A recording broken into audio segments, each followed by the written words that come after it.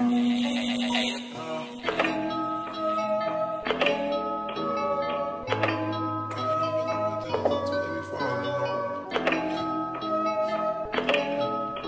guys, right now I'm going to show you how you can easily get into anybody's box. And with the new update, they brought back the flint knocks.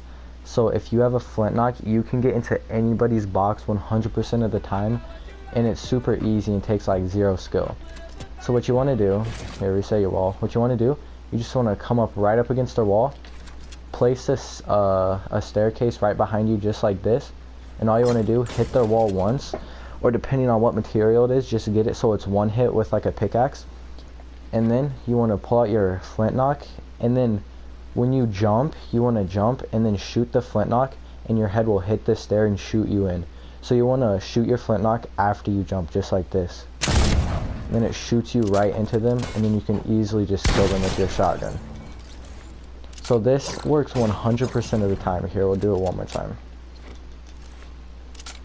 We'll do this one a little bit quicker to show you that it like takes no skill at all. Alright, so you just want to run up, build a staircase, hit it once, jump, and you're in. Just like that. It works 100% of the time. So as long as you have a flint knock, with the new update, you can get into anybody's box so easily.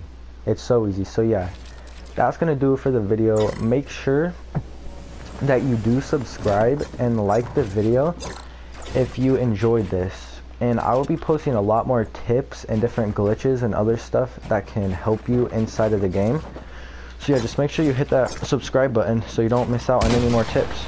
So yeah, I'll see you guys in the next video.